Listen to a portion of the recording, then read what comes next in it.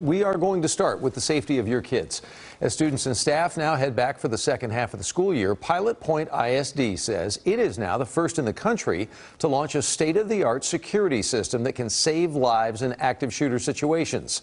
As our Aaron Jones is about to share with you, it can even help those paralyzed with fear find their way to safety.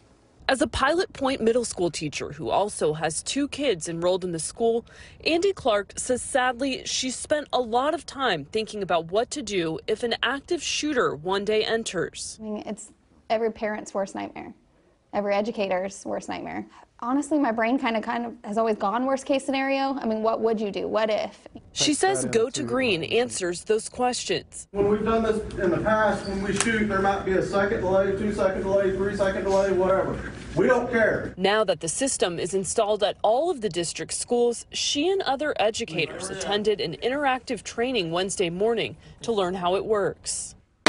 Once a gun is fired, it detects where the gunman is and operates like traffic lights to create routes to safety.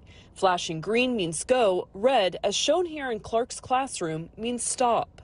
So at that point, I'd grab my students and push them in the corner and do normal lockdown procedures. As much as teachers plan for the threat of an active shooter, nothing prepares them for the panic and the chaos caused by gunfire, which is why they say this type of training really helps.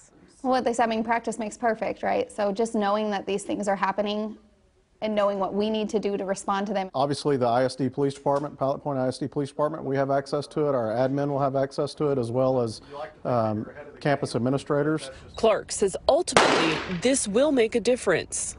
I think ultimately it'll make every difference. I think having that reassurance as a teacher, as a parent, it removes all the questions. In Pilot Point, Aaron Jones, CBS 11 News.